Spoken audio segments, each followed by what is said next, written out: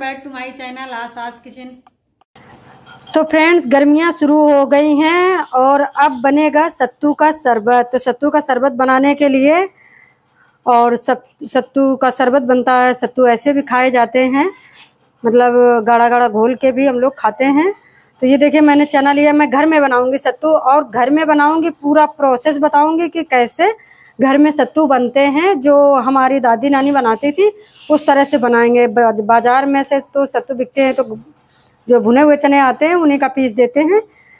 और ये वाला जो बनता है तो ये ज़्यादा टेस्टी लगता है, और ये जब हम भिगो देते हैं तो इसके चने की जो गर्मी होती है, वो निकल जाती है। तो फ्रेंड्स, मैंने एक किलो चना मंगाए हैं।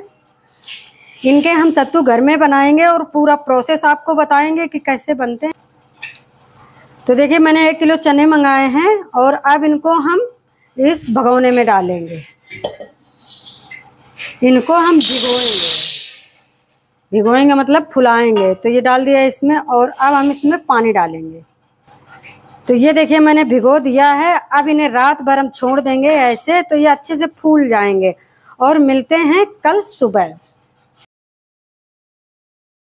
तो पूरी रात भीग चुके हैं, सुबह हो गई है। और ये चने बहुत अच्छे से भीग गए हैं। ये देखिए, अगर हम आपको दिखाएँ तो ये देखिए, बहुत अच्छे से भीग गए हैं। तो अब इन चनों को हम एक डलिया में रखेंगे। तो हम डलिया में रखेंगे, उसके पहले नीचे एक कटोरा लगा लेंगे और ये डलिया रख ली। तो ये हम इसलिए रख रहे हैं कि जब हम इन्हें फैलाएँ तो पानी ज़्यादा न रहे।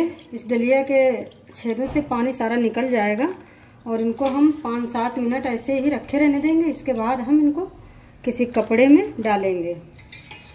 सारे चने निकाल लेंगे हम। तो देखिए, मैंने सारे चने निकाल लिए हैं और इस डलिया में ही हम इसे पाँच सात मिनट तक छोड़ देंगे। इसके बाद में हम इन्हें फैलाएँगे। तो ये देखिए फ्रेंड्स, पानी सारा निकल गया है। तो अब इनको हम फैलाएँगे कपड़े में। तो मैंने एक कपड़ा लिया है। मैंने एक साफ़ कपड़ा लिया है और ये सारे चने हम इसमें डाल देंगे। तो ये हमारा पर्दे का कपड़ा है, आपके पास सूती दुपट्टा कुछ भी हो, उसके ऊपर डाल सकते हैं। तो इनको हम इस तरह से फैला देंगे, पूरा एक लेयर कर देंगे। हमें इन्हें सुखाना है, लेकिन हमें इन्हें बहुत ज़्यादा नहीं सुखाना है मतलब इतना नहीं सुखाना है कि ये कड़कड़ करके आवाज़ करने लगे। हम इन्हें इतना सुखाएँगे कि दांत के नीचे अगर हम एक चने को दाबें तो ये कच्च से हो, कट से ना हो। तो अभी यहाँ पंखे की हवा में डाल देंगे, थोड़ा सा धूप दिखा देंगे इनको, बस। तो फ्रेंड मिलते हैं इनको हम तीन घंटे बाद। तो ये देखिए फ्रेंड तीन घंटे हो गए हैं, चने हमारे सूख गए हैं जितना हमें सुखाना था, उतना ही हमने सुखाया है। चने बहुत ज़्यादा नहीं सुखाए जाते हैं ये वाले। तो मैंने सुबह डाला था, एक घंटे धूप में पड़े रहे, बाकी ये पंखे की हवा में पड़े रहे हैं। तो हम आपको चने दिखाते हैं कि कितनी हद तक सूखे हैं तो चने लेते हैं, यहाँ पे रखते हैं, और ये मैंने लिया है। ये देखिए, इस तरह से पिचक जा रहे हैं मतलब ये इस तरह से हो जा रहे हैं, ये इस तरह से। तो इतना ही हमें सुखाना है।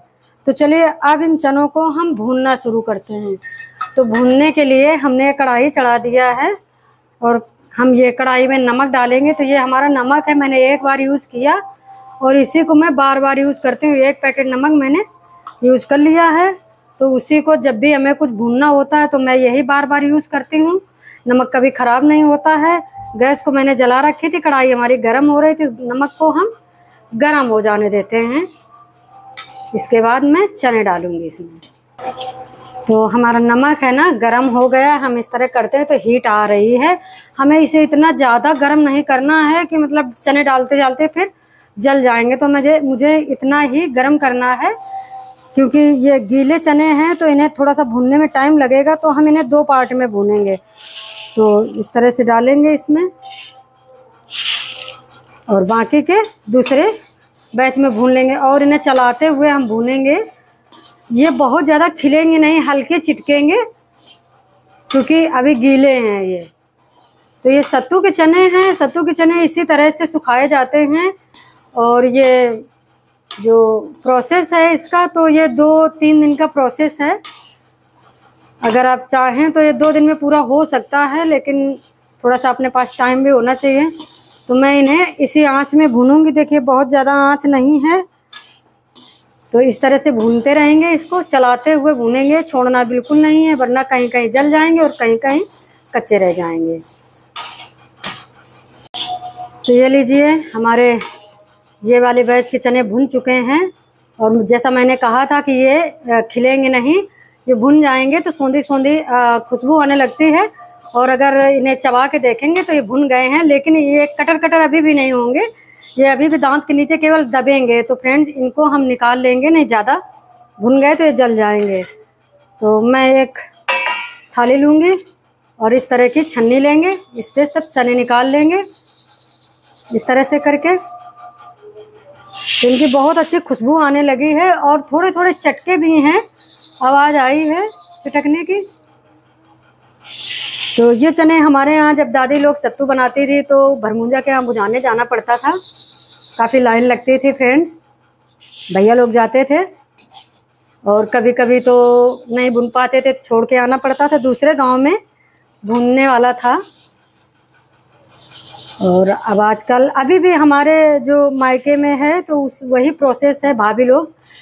उसी तरह से जैसे ये मैंने किया, इसी तरह से सत्तू बनाती हैं।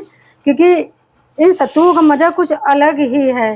तो ये निकाल लिया, अब हम दूसरे बैच के भी इसमें डाल देंगे। तो इनको भी हम इसी तरह से भून के मिलते हैं फ्रेंड्स फ्रेंड्स ये भी हल्के से भून गए हैं, थोड़ी देर और हमें इनको रखना है। तो देखिए, अगर ये भूनते हैं तो देखना अभी हम आपको दिखाते हैं किस तरह से होंगे। ये देखिए, आपको पता चल गया होगा। तो इस तरह से ये नमक में भुनते हैं। ये देखिए। ये देखिए।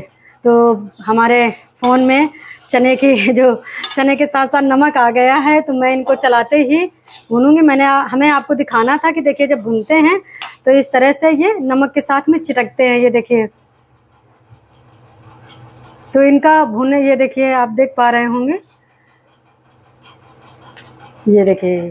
तो इनको इसी तरह से, इनको रोकना नहीं है। मैंने आपको रोक के दिखाया है कि देखिए इस तरह से भूनते हैं तो पता चल जाता है हमारे चने भुन गए हैं। तो देखिए नमक बाहर तक आ रहा है, कोई कोई चना छिटक जाता है। तो अब हम गैस को बंद कर देंगे क्योंकि ये काफ़ी गर्म है। तो मैं इन्हीं में इसी तरह से करती रहूँगी और इनको भी निकाल लूँगी। तो देख पा रहे होंगे आप, चटपट की आवाज़ भी आ रही है कहीं कहीं चटकते भी हैं ये, थोड़े से, बहुत कम चटकते हैं। तो इनको भी निकाल के मिलते हैं फ्रेंड तो ये लीजिए फ्रेंड हमारे चने भुन के तैयार हो गए ये काफ़ी गर्म हैं। तो देखिए, बहुत अच्छे से भुन गए हैं। देखिए कोई कोई चटके हुए हैं इस तरह से। तो इस तरह से फट मतलब चने तो कहीं ना कहीं आधे से ज़्यादा तो फट जाते हैं, ये अभी काफ़ी गर्म है। अब फ्रेंड्स इन्हें हम फिर से धूप में डालेंगे। तो अभी शाम है, मैंने शाम को इन्हें भूना है और कल इनको हम धूप में डाल देंगे और अब इन्हें अच्छे से सुखाना है। अच्छे से सुखा देंगे। इसके बाद आगे का प्रोसेस बताएँगे आपको। मैंने एक दिन की पूरी धूप लगा ली है। बहुत अच्छे से सूख गए हैं। आपको आवाज़ आ रही होगी। ये देखिए, इस तरह से सूख गए हैं। और अगर इनको हम इस तरह से करें तो देखिए, ये दो दो पार्ट में हो जाते हैं ये इस तरह से। तो ये जो सत्तू हम घर में तैयार करते हैं, उनका यही एक रीज़न है कि ये अच्छे से इनका सत्तू अच्छा बनता है और जो हम बाज़ार से लाते हैं वो सत्तू उतना अच्छा नहीं होता है। तो देखिए हम आपको पास से दिखाते हैं एकदम कटोरी की तरह हो जाते हैं ये इस तरह से। और जो भुने चने होते हैं बाज़ार के वो आपको इस तरह से नहीं मिलेंगे। वो आपको अगर इस तरह से करेंगे तो आपका चना ही पूरा आ, मतलब मिस जाएगा। तो अब इनको हम क्या करते हैं कि अगर आपके पास दरेती हो, जो दरने वाली तो आप उससे दर लीजिए। नहीं है तो आप इस तरह का एक थैला या कपड़ा कोई भी ले लीजिए। अगर हम मिक्सी में इसको इसको चलाएँगे, मिक्सी में तो क्या होगा कि ये एकदम से पिस जाएँगे तो छिलकी नहीं हटेगी इनकी। तो ये देखिए, मैंने ये ले लिया, और इस तरह का आपके पास कोई लोढ़ा हो तो मतलब बटना तो उसको इस तरह से करिए धीरे धीरे बहुत तेज नहीं मारना है धीरे धीरे से करिए या इस तरह से कर दीजिए। ये देखिए, आवाज़ आ रही है आप लोगों को? इस तरह से। तो ये थोड़ा सा ये है, हमारे पास दरेती नहीं है। दादी लोग गाँव में थी, हमारे यहाँ चक्की भी थी, हाथ वाली दरेती भी थी। क्योंकि दादी लोग सतुआ तैयार करती थी तो देखिए छिलकी निकल रही है इस तरह से। तो दादी लोग सतुआ तैयार करती थी जब तो क्या करती थी, घड़ी में दरती थी और घड़ी में उन्हें चक्की से पीसती थी। तो क्या होता था, अगर हम बाहर पिसा मतलब बाहर कहीं सतुआ पिसाने जाते थे चक्की पे तो क्या होता था, वो मिलावट कर देते थे तो सतुआ का स्वाद बिगड़ जाता था और अपना घर में पीस लेती थी। जितना खाना होता था, उतना पीस लेती थी। ये देखिए तो इस तरह से हम सारे छिलके हटा लेते हैं। जितना हो सकता है, उतना हम कर लेंगे, फिर मिलते हैं फ्रेंड्स तो ये देखिए फ्रेंड्स मैंने जितने हद तक हो सका है, मैंने इन्हें दो टुकड़ों में कर लिया है मतलब दर लिया है, उसी सिलबट्टे से। तो अब इनको हम साफ़ करेंगे। मैं इसे सूप में डाल के साफ़ कर लेंगे, इसके बाद मिलते हैं। तो ये देखिए फ्रेंड्स, मैंने साफ़ कर लिया है, इतना साफ़ हो पाया है, एक आध रह गए हैं तो उसकी कोई दिक्कत नहीं। तो अब इन्हें हम पीस के दिखाते हैं। तो ये मैंने मिक्सी का जार लिया है, और ये हमने डाले इसमें। इसमें आप जीरा डाल सकते हैं मतलब भुना नहीं, कच्चा जीरा डाल सकते हैं, ऐसे खड़ा और पीस के हमारे यहाँ जब सत्तू तैयार किए जाते थे तो इसमें जीरा भी डाल दिया जाता था, फिर चकिया में पीसे जाते थे और बेजर भी डाला जाता था मतलब जौ, वो भी डाला जाता था। तो अब इसको हम पीस लेते हैं, इसका पाउडर बना लेते हैं। तो ये देखिए फ्रेंड्स, मैंने पीस लिया है और ये बहुत अच्छा पीस के तैयार हुआ है। ये देखिए एकदम महीन, क्योंकि हमने एकदम सुखा लिए थे चने। तो अब इनको हम थोड़ा सा छान लेते हैं। वैसे है इसमें कुछ भी नहीं, फिर भी मैं छान दूँगी इन्हें।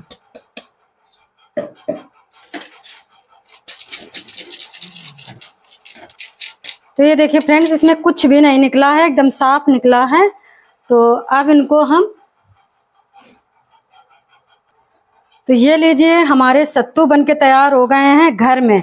सत्तू बनाने का असली प्रोसेस यही है फ्रेंड्स बाकी तो बुने बुनाए चने का पीस ही सकते हैं आप। घर में ला के पीस सकते हैं, बाज़ार से ला सकते हैं। लेकिन ये, जो ये सत्तू का टेस्ट मिलेगा, वो उस सत्तू में बिल्कुल नहीं मिलेगा। इसका टेस्ट बहुत अच्छा आता है। ये अगर आप मतलब घोलोगे या जैसे हम लोग कभी कभी सूखे सूखे मार के खाते हैं। तो ये बहुत अच्छी खुशबू आती है इनमें। लगता है हाँ आप सत्तू मारे जा रहे हैं। इस तरह की खुशबू आती है। तो फ्रेंड्स, ये हमारे होममेड सत्तू बन के तैयार हो गए हैं। और आप लोगों को कैसे लगे, आप लोगों को अच्छे लगे हों तो लाइक शेयर कमेंट करना। चैनल को सब्सक्राइब ज़रूर करना, फ्रेंड्स। मिलते हैं अगले वीडियो में। तब तक के लिए bye bye and take care